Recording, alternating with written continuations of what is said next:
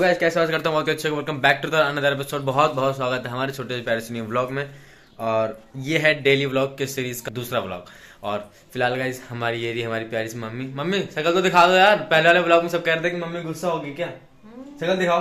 मैंने चल। दिखाओ तो। तैयार रहती थी तो शक्ल देखता नहीं है जब मैं तो ये रही हमारी मम्मी। बकवास लगता है। देखो तो एक बार। ऊपर तो देख थोड़ा सा देख लो थोड़ा सा। ऊपर तो उठाओ मुँह। हम्म, हम्म, बस ठीक है ऐसे।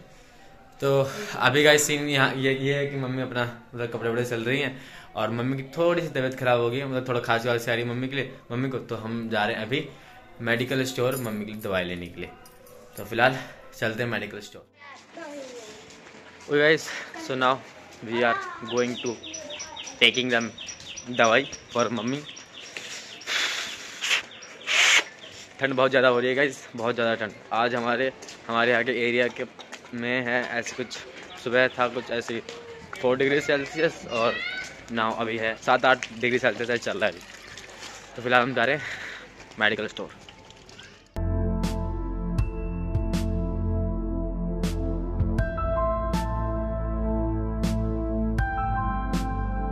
भैया मेडिकल स्टोर वाले कहाँ हैं? दवाई चाहिए।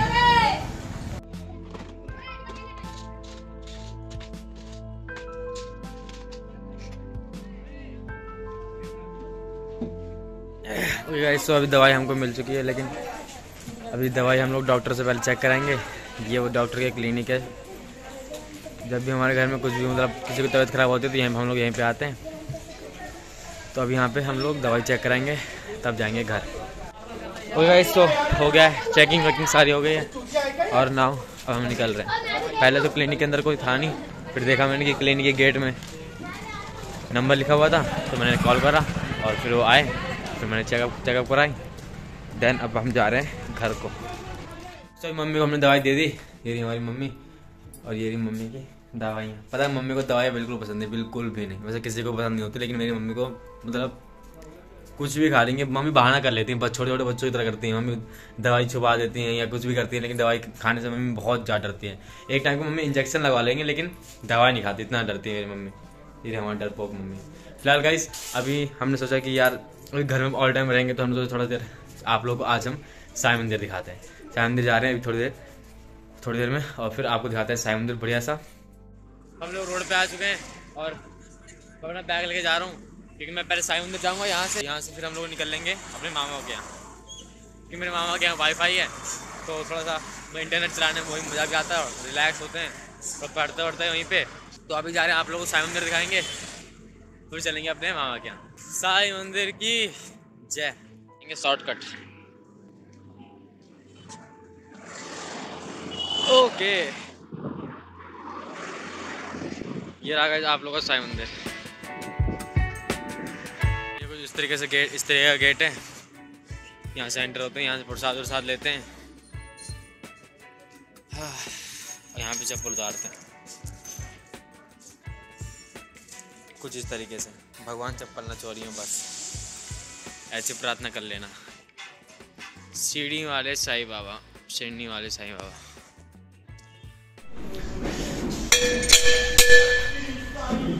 गाइस सो यहाँ भी नीचे भी नीचे भी अंडरग्राउंड में मंदिर है छोटा सा मतलब यहाँ पे मैं आपको अभी दिखाऊँगा, ऊपर से आता हूँ, पहले फिर नीचे का भी दिखाऊँगा आपको। फ़िलहाल गाइस चलते हैं ऊपर। जय साईं बाबा।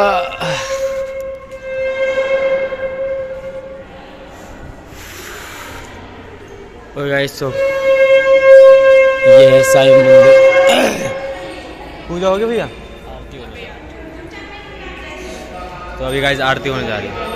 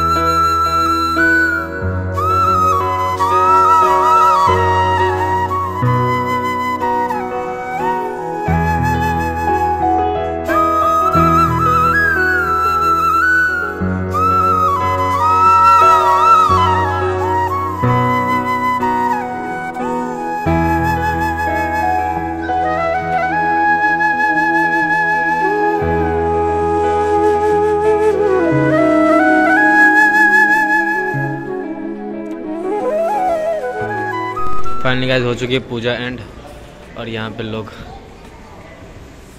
फूल वूल चढ़ा रहे हैं। आरती ले रहे हैं। जब तक सब फूल ले तब हम परिक्रमा लगा लेते हैं।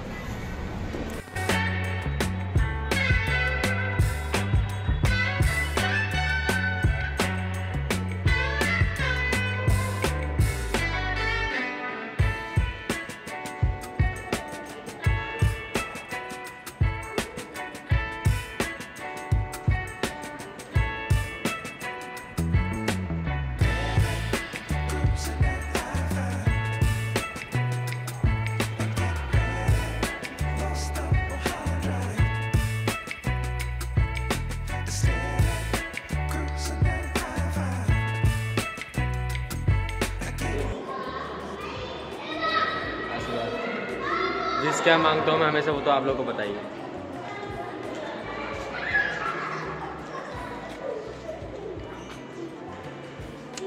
भगवान जी बिज़ी हैं इस टाइम फ़िलहाल गाइज़ हम जा रहे हैं नंदी जी के पास। नंदी जी, कौन है? हम बता, दिखाते हैं आपको। इनके ना कान में वो करते हैं, क्या कहते हैं? विष मांगते हैं।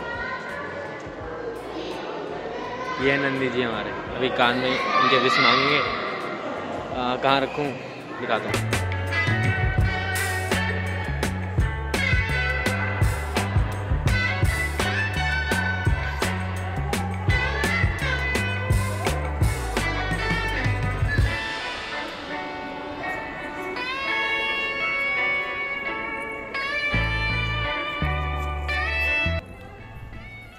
फ़िलहाल गाइस ये था हमारा साई मंदिर।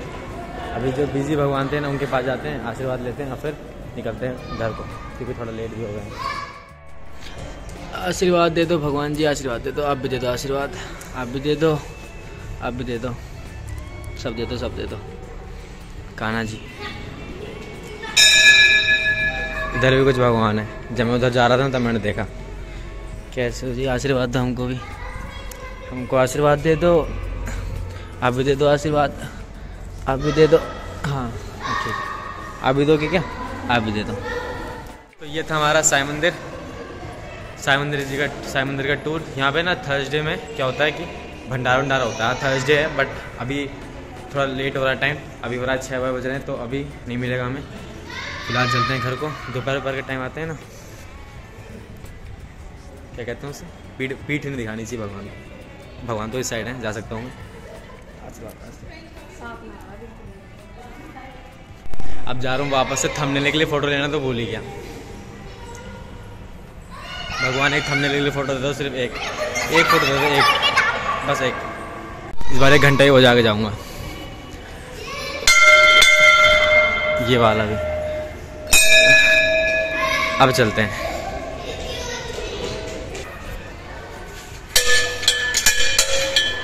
मंदिर आओ और घंटा ना बजाओ, ऐसा कुछ हो सकता है? काश हमारी चप्पल बची हो बस। यहाँ का नई बाइक की वो रही है। चप्पल। फ़िलहाल गाइस चप्पल भी मिल गई हमको, किस्मत से। गाइस सो अभी हम लोग जा रहे हैं कोचिंग विथ माई छमक चलो मिलते हैं डायरेक्ट कोचिंग में। ग्लव्स कैसे हैं? कमेंट में बताना। आप जानते हो? अरे बस। प्रोबेबिलिटी में कॉइन होता है। होता है। गाइस सो घर जा रहे थे। भूख लगने लगी थोड़ी सी। उधर आगे ट्रैफ़िक भी अगर आप लोगों को दिख रहा हो, बहुत बहुत ट्रैफ़िक है। मैं तो थोड़ी देर कुछ खा लेते हैं, फिर चलते हैं घर को। उधर ट्रैफ़िक भी ठीक हो जाएगी। तो फ़िलहाल हम लोगों ने ले लिए कहाँ समोसे? हमारे ये। हमारे दो समोसे। समोसे खाए। और अभी अंकल के पास गुजिया रखी थी, मैंने रेट पूछा तो अंकल बोल रहे पाँच रुपये तो मैंने एक एक गुजिया भी ले ली। अगर ये अच्छी लगी तो एक और ले लूँगा। ये गुजिया बड़ी मस्त थी। अंकल एक और देना। तो आगे एक और गुजिया हमारी। इसका सेब देखो। थोड़ी पहले वाले से थोड़ी छोटी है, लेकिन सर बता बहुत मस्त है। मुझे आगे से बता बहुत मस्त था। और मैं आपको बताता हूँ, रोस, रोशन चाट भंडार नाम से यहाँ पे ये कोन, बिल्कुल कोने वाले। हमारे Tigri gate greater Noida west में, टिकटी गेट के बिल्कुल एंड वाले मार्केट में। रोशन चाट भंडार लगाते हैं तो आप लोग यहाँ पे, मेरे कहने पे एक बार, भुजिया ज़रूर खाना, बहुत मस्त है, सच में। पाँच रुपये की एक वो भी।